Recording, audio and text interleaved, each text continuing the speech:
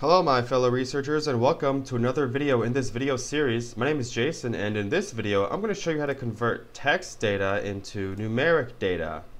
And there may be a number of reasons why you have text data and it could be that you well just entered it in text format or perhaps you uh, uh, downloaded it from an online survey platform and it came in text format or maybe you imported it from Excel and it came in text format. Either way, it's probably going to be in the string variable type. Okay, that's that's for text, and we want to get it into a numeric variable type, and that's because we need numbers to do certain analyses.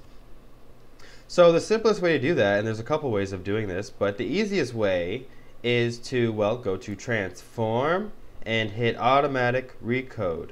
Okay, automatic recode. And you can see the little A here beside the variable. That means it's in string format. I'm just going to throw it in this box right here, and I'm going to type in a new name, sex auto. Okay, so we're going to create, oh, that says auto. We're going to create a new variable called sex auto. Add new name. And you can see this section right here. It says recode starting from lowest value to highest value. Okay, so from lowest value means it's going to start the numbering in alphabetical order right? So so F comes before M, I think. So F should be 1 in this case, right? Let me hit OK. F is 1, M is 2, right? And no, I don't want to save that. That There you go. You can see M has become 2 and F has become 1.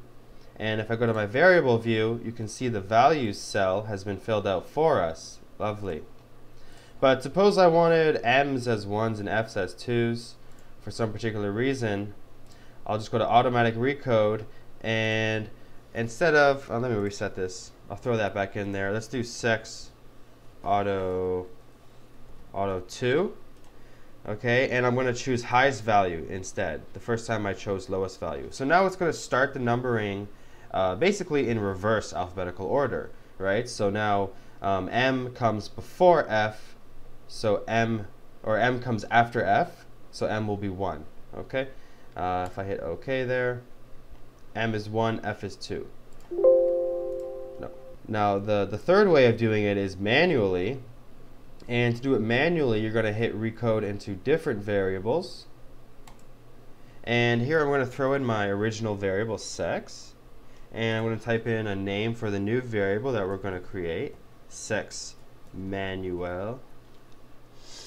And I'm going to hit old and new values.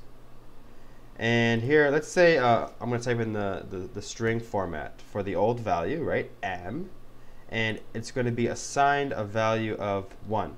And I'm going to hit add. And I'm going to throw in f in here, and I'm going to type 2, and I'm going to hit add. So now males will become 1s, females will become 2s. Hit continue, hit OK, and it tells us the syntax here, exactly what we've done.